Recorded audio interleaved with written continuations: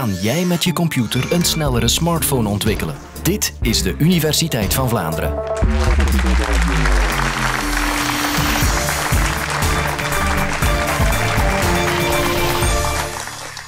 Stel je een wereld voor waar jij het voor het zeggen hebt, waar je de natuurkrachten naar je hand kan zetten. Zwaartekracht aan, uit. Een wereld van jouw makelij, waar jouw regels gelden. Welkom in mijn wereld, de wereld van het computationeel materiaalonderzoek. Zou een leuk begin zijn voor een science fiction film, denk je niet? Waar het niet voor die laatste twee woorden, computationeel materiaalonderzoek. Ik ben een natuurkundige en een chemicus en ik onderzoek materialen. En ik doe dat niet in een laboratorium, ik doe dat met een computer. Ik doe dat met een supercomputer, de Vlaamse supercomputer. En die materialen, wat zijn dat? Wel, materialen is een term die wetenschappers gebruiken om gewoon te verwijzen naar waar iets van gemaakt is. De stoelen waar jullie op zitten die zijn van kunststof, dus kunststof is een materiaal. Of ramen die zijn van glas, en dan is glas het materiaal. Maar de materialen waar ik aan werk, dat zijn materialen die we overal rondom ons hebben, die ons leven makkelijker maken, maar waar we ons eigenlijk niet van bewust zijn. Neem bijvoorbeeld een bril. Als je een nieuwe bril gaat kopen, moet je meestal een paar vragen beantwoorden, zoals moet die krasbestendig zijn? En moeten die glazen waterafstotend zijn of vetafstotend? En moeten die uh, ontspiegeld zijn, die glazen? En als je daar ja op antwoordt, dan wordt er een dunne coating aangebracht op die glazen, een laagje van een paar micrometer dik, honderdste van een haar dik. En dan is uw uh, bril beter beschermd tegen kras of stoot die water En als je dan ook nog een zonnebril wil, dan krijg je twee extra vragen. Moeten dat gekleurde glazen zijn of moeten dat glazen zijn die vanzelf verkleuren? Als je voor de laatste kiest, dan heb je kans dat je glazen krijgt waar moleculen in verwerkt zijn. En als je daarmee in het zonlicht komt, dan gaan die moleculen veranderen van vorm, zodanig dat ze meer licht tegenhouden. En als je dan terug in de schaduw gaat, keren die moleculen terug naar hun originele vorm en laat ze terug meer licht door. Zitten dus met materialen die op een heel kleine schaal, de schaal van individuele moleculen, de eigenschappen geven waarvoor ze worden gebruikt. Wie heeft er hier een smartphone? Laat mijn handen zien. Bijna iedereen. Oké. Twee belangrijke vragen die u hebt gesteld wanneer je die smartphone hebt gekocht is hoeveel megapixels is die camera en hoeveel geheugen zit er in dat ding om uh, foto's te maken en apps op te installeren. Maar de echte technerds, als ze hier aanwezig zijn, die stellen zich nog een derde vraag. Die computerchip die erin zit, want een smartphone is eigenlijk een heel kleine computer, is die wel gemaakt met de laatste nieuwe 7 nanometer technologie. En niet met de ouderwetse 10 of 14 nanometer technologie, maar met die allerlaatste nieuwe 7 nanometer technologie. En wat betekent dat? Dat betekent dat die chip, de kleinste onderdelen daarin, dat die maar 7 nanometer groot zijn. Een nanometer dat is een miljardste van een meter. Om dat een beetje in perspectief te plaatsen, stel u de aardbol voor. Hij heeft een omtrek van 40.000 kilometer. 1 miljardste daarvan, dat is 4 centimeter. Die 7 nanometer is dan een A4'tje. En die hele smartphone past perfect in een zak in de vorm en de grootte van het hele continent Afrika. Kwestie van dat beetje op schaal te plaatsen. En waarom is dat zo belangrijk? Een nanometer dat is klein. Ja, en dan zegt u dan, waarom is dat zo belangrijk? Wel, op die schaal komen we eigenlijk in de leefwereld van atomen terecht. Als je gaat kijken naar de tabel van Mendeleev, dan zie je daar al die atomen voorgesteld staan als bolletjes. En de grootte van die bolletjes komt overeen met de relatieve grootte van die atomen. Als je rechtsboven in die tabel kijkt, zien we het waterstofatoom staan. Nu misschien heel moeilijk, want het is een van de kleinste atomen die er zijn. Die hebben een diameter van 0,1 nanometer. Dat betekent, die 7 nanometer van daarnet kunnen er zo 70 waterstofatomen. Maar een computerchip is niet gemaakt van waterstof. Die is gemaakt van silicium, van germanium, van goud, nog een hoop elementen. En die zijn allemaal een pak groter. Ja, een goudatoom is drie keer zo groot als een waterstofatoom. Dan heb je er geen 70, maar eerder een stuk of 20. En hier op de eerste rij zijn we met ja, een stuk of 15 ongeveer. Als er één iemand ontbreekt en dan zit daar een lege stoel, of er zit een hond op die stoel, dan iedereen hier dat gezien hebben. Ja, daar ben ik vrij zeker van. Nu, in dat klein stukje van die chip, op die 7 nanometer, als daar één atoom ontbreekt of daar zit een ander atoom, dan gaan al die andere atomen die daar rond zitten dat merken. En dat gaat een invloed hebben op de eigenschappen van dat materiaal. Daarom is het ook van belang om te weten hoe dat, dat gaat beïnvloeden. Ja? Alles rondom ons bestaat uit atomen. En dus kunnen we op die schaal, op de schaal van atomen, alle materialen voorstellen. Hoe doen we dat? Wel, we doen dat met uh, een bal- en staafjesvoorstelling. Daarin hebben we enerzijds de ballen die de atomen voorstellen En die krijgen dan een specifieke kleur afhankelijk van welke soort atoom dat is. Een koolstofatoom zwart, eh, een zwavelatoom gaan we als geel aanduiden. En de staafjes die ertussen zitten, die stellen dan de chemische bindingen voor hoe dat die atomen aan elkaar vasthangen. Ja, we hebben hier drie mooie voorbeeldjes. Aan de rechterkant hebben we diamant, het hardste materiaal dat we kennen. Het bestaat enkel uit koolstofatoom. En linksonder hebben we grafiet. Dat bestaat uit laagjes, ook enkel koolstof.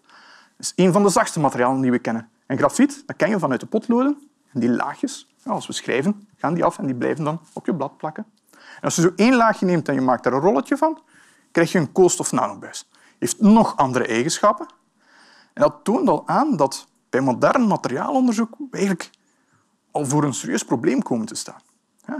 Zelfs als we weten welke atomen we hebben, weten we nog niet zeker wat dat de structuur gaat zijn of wat dat de eigenschappen gaan zijn. Dat kan evengoed hard of een zacht materiaal zijn.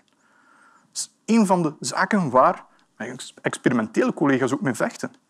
En mijn experimentele collega's die maken synthetisch diamant. Die doen dat in een soort van ja, ingewikkelde microgolfoven. En daar laten ze dan koolstofatomen samenkomen en uitkristalliseren, kristalletjes vormen. En ze hopen dan dat dat diamant wordt. En geen grafiet. Want grafiet is eigenlijk de gewone toestand van koolstof bij kamertemperatuur en de luchtdruk zoals we die gewoon zijn. En als je een nieuw materiaal wil maken, hoe doe je dat dan? Ja, we starten met een bekend materiaal, dan gaan we daar stukjes in veranderen. En als we op de schaal van atomen kijken, betekent dat dan sommige atomen eruit halen en andere erin steken. Maar ja, je kan je voorstellen dat je dat in een labo niet echt kan doen, dat je daar niet staat van oké, okay, dit atoom hebben we niet nodig, we steken er een ander in. Dat gaat zo niet. Dat gaat allemaal via chemische reacties, in een heel syntheseproces. Maar hoewel dat wel gecontroleerd is, is dat nog altijd iets anders dan, net zoals Lego, iets in elkaar steken. Als we nu even teruggaan naar die smartphone. Ja, moet die minstens één keer per dag opladen? Zou het niet fijn zijn als we dat nu één keer per week zouden kunnen doen? In plaats van één keer per dag. En hoe gaan we dat doen? Wel, zou kunnen zeggen, een betere batterij. Hè? Maar we gaan het ecologischer aanpakken. We gaan ervoor zorgen dat we gewoon met dezelfde stroom die uit die batterij komt, meer kunnen doen. En wie zijn de twee grootste stroomvreters? Je scherm en die computerchip. Die computerchip gebruikt die stroom om berekeningen te doen, om zo je apps hun ding te laten doen. En daarbij wordt ook warmte geproduceerd. Een deel van die energie gaat verloren in warmte. Als we dat nu eens zouden kunnen verminderen en wat beter die stroom zouden kunnen geleiden, zou ons leven al een stuk vlotter gaan. Nu, die chip bestaat uit silicium. Als we daar nu eens diamant zouden voor gebruiken, dat heeft exact hetzelfde kristalrooster. Maar diamant glijdt warmte veel beter dan silicium. En het glijdt ook stroom veel beter dan silicium. Maar ja, je moet eerst geladen deeltjes hebben in uw silicium of in uw diamant die kunnen bewegen en beide hebben dat niet. We krijgen die daarin door andere atomen in te bouwen. Oké, okay, kunt je zeggen. Tot daar, wat gaat wel? We hebben een periodiek systeem, zijn er een stuk of honderd. Dat gaat vlot. Ja, maar stel dat het met één element eigenlijk niet lukt, dat je een combinatie moet maken van twee of van drie. Dan heb je niet honderd mogelijkheden, maar tienduizend of een miljoen. Dat kun je ook niet gewoon in een labo gaan doen. Daarvoor kun je eigenlijk de stap maken naar simulaties. En in de simulaties die ik doe, bouw ik een materiaal atoom per atoom op. En daardoor heb ik eigenlijk absolute controle. Ik weet dat ik diamant heb. Ik moet me geen zorgen maken, zoals mijn collega's, dat het grafiet gaat worden. Het is diamant omdat ik het zo heb gemaakt. En een ander materiaal maken, koolstofatoom eruit, ander atoom erin. Dat kan een zuurstofatoom zijn, dat kan een fosforatoom zijn, dat kan een europiumatoom zijn. Ja, europium, dat is zo van in die balken die onder de tabel van Mendeleev hangt. Iedereen vraagt zich af, waarom hangt die daar? Daar zitten die zware elementen. Het zijn ook vrij grote elementen. En kun je de vraag stellen, van, kijk ja, je gaat daar iets mee doen, je gaat dat erin steken, maar dat past daar niet in, dat is veel te groot. Dat wil die andere koolstofatomen toch wel wegduwen. Ja? En wanneer ik dan simulaties doe, dan berekent mijn programma hoe dat die, die moet wegduwen. En dan kan ik ook berekenen wat de nieuwe eigenschappen worden, hoe goed dat warmte wordt geleid of hoe goed dat stroom wordt geleid. Nu, hoe weet mijn programma wat dat het juist moet doen? Wel, in die zin is een computersimulatie eigenlijk heel goed te vergelijken met een computerspel. Ja? We kennen dat wel, hè? Angry Birds. Het spelletje waarbij je een vogeltje afschiet met een katapult om huisjes van varkentjes omver te schieten. Ja, je kan kiezen onder welke hoek dat je mikt en hoe hard dat je die katapult aanspant. En telkens gaat dat vogeltje in een boog vliegen, een parabool, maar telkens een andere. Dat is de spelregel die geldt binnen dat computerspel. In mijn geval zijn de spelregels de wetten van de natuur. En als je met atomen werkt, dan zijn de natuurwetten die daar geldig zijn de wetten van de kwantummechanica. Die zijn een heel stuk complexer, maar inherent is het eigenlijk een beetje hetzelfde idee. We hebben spelregels, die kunnen we omzetten in wiskundige vergelijkingen, een heel gemakkelijke en een hele complexe set. En die uh, wiskundige vergelijkingen kunnen we dan omzetten naar uh, regels die een computer moet volgen. Als dit, doe dan dat. Tel dit getal bij dat getal op, vermenigvuldig het met een derde, trek er een wortel uit, maakt allemaal niet uit.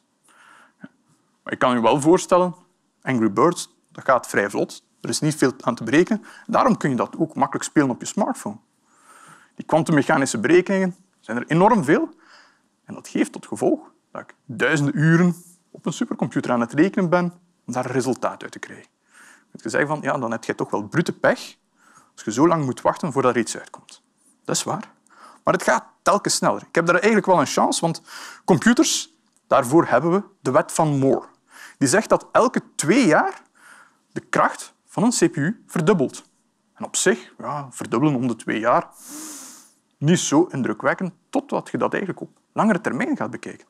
Als we teruggaan naar de jaren 70, 50 jaar terug, wetenschappers die toen materialen onderzochten, hadden maanden rekentijd nodig om een heel simpel model door te rekenen. Dat simpel model konden ze 25 jaar later gewoon in een Exceltje gaan steken en dan gaan uitrekenen. Dan duurde het nog een paar uur. En als je datzelfde programma vandaag zou laten lopen, duurt het maar een paar minuten. Ja, Excel is nu niet echt iets dat je gaat gebruiken om zwaar berekeningen mee te gaan doen. Als je dat zelf in een programma giet, zoals die mensen in de jaren 70 hadden gedaan, dan duurt dezelfde berekening nu zo lang. Een vingerknip. We gaan van maanden rekentijd naar een vingerknip. En ook vandaag. Ik gebruik maanden rekentijd nu om te doen wat ik wil doen. Maar over 50 jaar weten we dat we aan een vingerknip zitten. En we zijn al goed op weg. Want als je nu s'avonds, als je gaat thuiskomen en je kijkt in je smartphone, ah, wat voor apps hebben we, moet je eens gaan zoeken of je geen app vindt waarmee je moleculen kan simuleren. Die bestaan al. Er bestaan apps die je toelaten om op atomaire schaal kleine moleculen te gaan simuleren. Niet met dezelfde nauwkeurigheid als de berekening die ik nu doe, maar dat is al een eerste stap in die richting. En we gaan verder en verder. Wat leren we hier nu allemaal uit? Wel, drie dingen.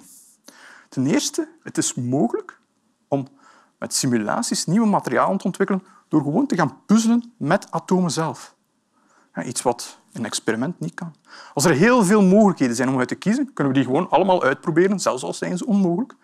En dan kiezen we daar de beste uit en zeggen we aan experimentele mensen, kijk, maak dit nieuwe materiaal. Dit is de beste keuze om mee te starten. En als derde, omdat computers steeds sneller en sneller worden, wat vroeger een supercomputer nodig had, kunnen we binnenkort op een computer. En in de toekomst, wie weet, gaan we dan met onze eigen smartphone de nieuwe materialen gaan ontwikkelen voor de volgende generatie smartphone. En die, wie weet, bestaat wel uit diamant. Dank u voor uw aandacht.